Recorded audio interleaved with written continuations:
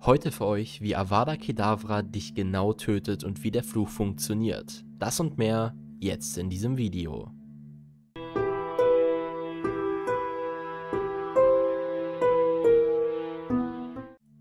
Im heutigen Video werde ich über einen der unverzeihlichen Flüche sprechen. Genauer gesagt werde ich über Avada Kedavra und seine Eigenschaften reden. Wir kennen Avada Kedavra alle als den Tötungsfluch, der Hauptzauberspruch von Lord Voldemort und scheinbar das Mittel der Wahl für dunkle Hexen und Zauberer, die ihren Feinden ein schnelles Ende setzen wollen. Avada Kedavra ist ein wahrhaft finsterer Zauber, der vom Zaubereiministerium als unverzeihlich eingestuft wurde. Vom Zaubereiministerium wurden auch zwei andere Flüche als unverzeihlich eingestuft. Der erste ist Crucio, auch bekannt als Cruciatus-Fluch, der Folterfluch. Und der zweite ist Imperio, auch bekannt als Imperius-Fluch, mit dem man die Kontrolle über Menschen übernehmen kann. Diese drei Flüche wurden im Jahr 1717 als unverzeihlich eingestuft, als das Zaubereiministerium beschloss, dass sie in der Welt der Zauberer nicht frei verwendet werden dürfen. Gleichzeitig wurden strenge Strafen verhängt und an ihre Verwendung geknüpft. Vor 1717 jedoch können wir nur annehmen, dass sie wie jeder andere Zauberspruch behandelt wurden. Und obwohl wir keine Informationen haben, die dies belegen, muss es eine Art von Auslöser gegeben haben, der dem Ministerium bewusst gemacht hat, wie gefährlich diese drei Zaubersprüche wirklich sind. Ulik Gamp war der Minister für Zauberei, als die Zaubersprüche verboten wurden, und es war nur noch ein Jahr seiner Amtszeit übrig. Eventuell ist etwas passiert, das mit diesen Zaubern zu tun hat, was seinen Posten bedrohte. Ich kann mir das riesige Chaos nur vorstellen, das so etwas wie der Imperiusfluch in einer solchen Regierungsstruktur verursachen würde. Der berüchtigste der unverzeihlichen Flüche, Avada Kedavra, hat einen ganz einfachen Zweck.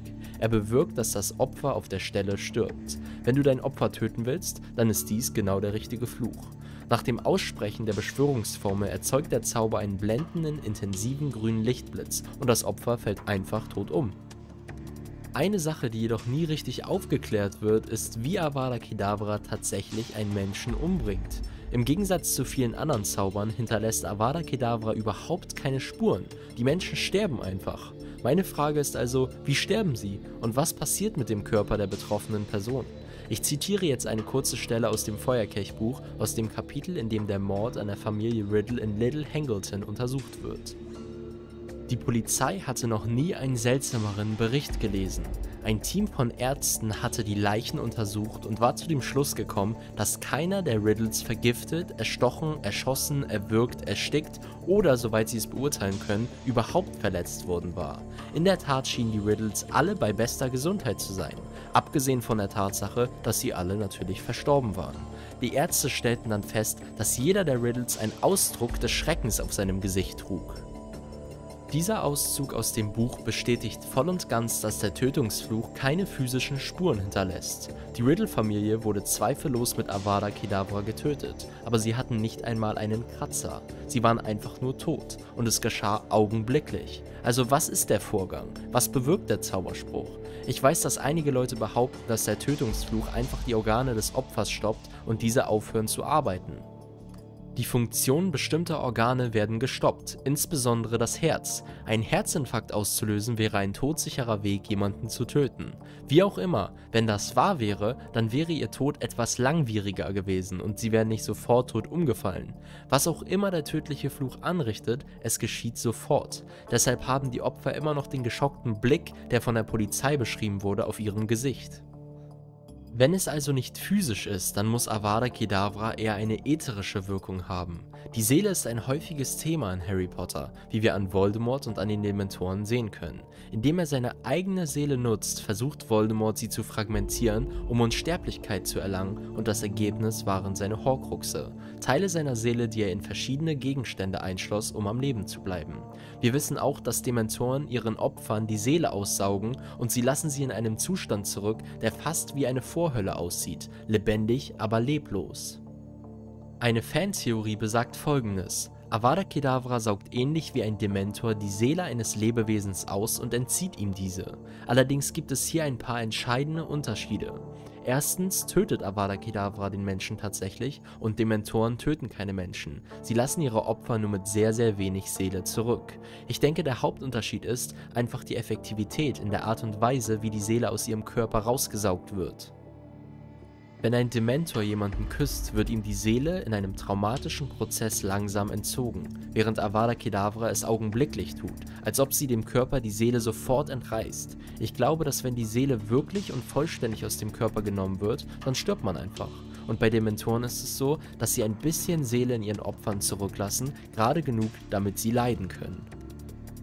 Es scheint angemessen für eine Kreatur wie einen Dementor so etwas Fieses zu tun. Zumal die Angehörigen derjenigen, die geküsst wurden, derer, die von Dementoren angegriffen wurden, nur noch die Hülle der Person sehen, die sie einst kannten. Ich denke, dass das Konzept der Horcruxe ausreicht, um das Argument zu stützen, dass die Seele das ist, was uns letztendlich am Leben erhält. Denn selbst wenn Voldemorts körperliche Gestalt vollständig zerstört wird, erlaubt ihm ein Stück in seiner Seele weiter zu existieren. Auf eine seltsame Art und Weise ist das Töten von jemandem mit Avada Kedavra eine viel humanere Art, sein Leben zu beenden, als ihn zum Beispiel den Dementoren zu überlassen, denn in einem einzigen Augenblick ist sein Leben mit Avada Kedavra vorbei. Avada Kedavra zieht es nicht wirklich in die Länge und obwohl es für einen Moment traumatisch sein kann, leiden die Personen nicht wirklich. Ich habe also den Eindruck, dass Avada Kedavra die Seele aus dem Körper entreißt. Aber was noch offen ist, ist wie. Der folgende Auszug gibt eine gute Beschreibung der Wirkung von Avada Kedavra nach dem Aufprall. Wenn jemand getötet wird, wird normalerweise seine physische Form mit physischen Mitteln getötet. Das heißt, jemand wird erstochen oder erschossen oder vergiftet und dies bewirkt, dass sein Körper effektiv stirbt. Das ist genau das, wonach die Muggelpolizei gesucht hat. Angesichts der Tatsache, dass Avada Kedavra dem Körper die Seele entzieht, was wie schon gesagt auf eine ätherische Verbindung hindeutet, kann man es mit dem bloßen Auge wahrscheinlich nicht sehen. Ich denke, dass Avada Kedavra tatsächlich eine Form jenseits des grünen Lichts hat. Es ist nur nicht etwas, das auf einer physischen Ebene gesehen werden kann. Oder nicht nur da. Vielleicht ist es einfach etwas, was nicht gesehen werden kann, bis man die physische Welt ausgeblendet hat. Anschließend würde mich noch eine Sache interessieren. Was ist deine Meinung zu dem ganzen Thema? Glaubst du diese Theorie oder hast du eine andere Theorie, der du eher deinen Glauben schenkst? Lasst mich gerne eure Meinung in den Kommentaren wissen. Und das war es auch wieder mit diesem Video. Ich hoffe, es hat dir gefallen und wenn es das hat, würde ich mich sehr über einen Daumen nach oben und ein Abo freuen. Wenn du Fragen oder Anmerkungen hast, schreib sie mir doch gerne in die Kommentare. Und vergiss nicht, die Glocke unter dem Video zu aktivieren, damit du keins der neuen Videos mehr verpasst. Bis dahin, bis zum nächsten Mal bei Harry Potter Wissen.